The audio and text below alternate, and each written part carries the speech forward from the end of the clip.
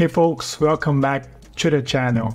So I talked to a lot of um, companies and business owners, of course, about automation, and they are looking to um, start building automations and systems to um, scale their, their businesses. And one of the most common objections that I get is that I fear losing control of my business. I don't want to give up control of everything that I have running here on my operations. It's very common, this kind of um, objection or this kind of thinking. And I always tell them that they need to follow four steps to avoid feeling that way, right? Because it's really important that once you start building automations, that you feel comfortable with everything that's running for your business so you can use your time with the things that matter, right? So with the things that are gonna help you grow and scale your company even further. So the first thing that I share with them is that before you start building automations, you should know your process offline, right? So before um, move it online, you should know everything that needs to happen offline, and that's key.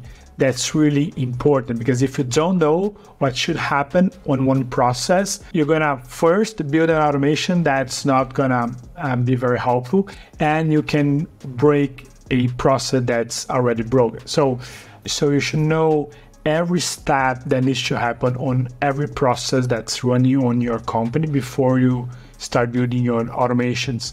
That way, you you will know every everything. You know all the actions that are happening on that automation on that system. Again, so you won't. You are not giving up control. You have control over the automation. You have control over all the steps and, and actions that the automation is doing for your business. So that's the first and probably one of the most important steps that you need to follow. The second step is if you work at a company or if your business has other team members there, it's really important to get everyone involved on the automation, on the system. So they should know um, how to trigger the automations and also they should know the outcome of the automations. So they should really be involved on that process so you can better optimize all the operations so you can have a more efficient um, process. It like it doesn't make sense for you to build an automation that your team members don't know how to use it because you won't be using the systems at the optimal level, right? So you don't you won't be using the system at their full capacity.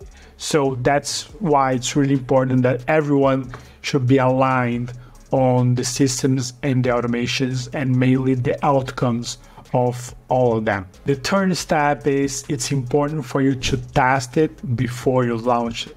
So after you have the automation ready, you should test it a lot. Test it with fake data, test it with live data before you actually start running it um, on their own, right? So it's really important that you test the trigger, you test all the different actions on that process, on that automation, so you can feel comfortable with how it's working, right? Again, you are not giving up control, you are under the automation is under control. So that's how we should work. You should know everything that's happening there. You should know all the outcomes of the system so you can focus your attention, your energy, your time on other tasks and processes for your company. And also, the fourth step would be to check your automations on a regular basis, right?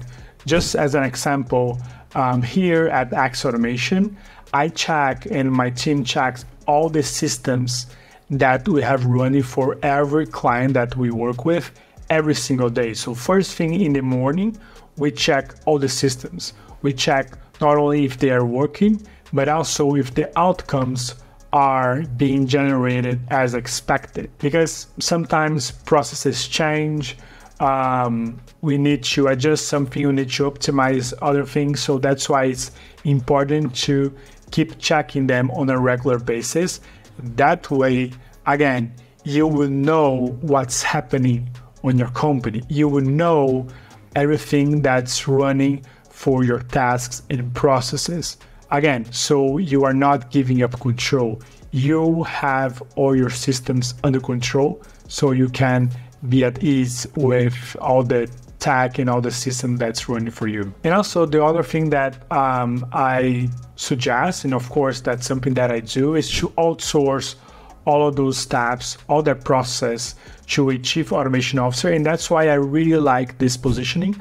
I really like this chief automation officer role because it makes so much sense, not only to help you identify automation opportunities within all your processes, but also to build the automations to, to make sure that they are running and to make sure that everything is smoothly so you can focus your time and energy on other things for your business, on the things that are more strategic, on the things that are going to help you grow your company. So that's the goal of automation. The automation shouldn't worry you more, it should have the opposite effect right? So that's the goal of automation. So you should all, we shouldn't worry about giving up control um, when you start automating your business because if you follow those steps, you make sure that you have the systems under control and you can use your time, use your energy on other tasks or even to do other things uh, on your life that you enjoy. So that's the angle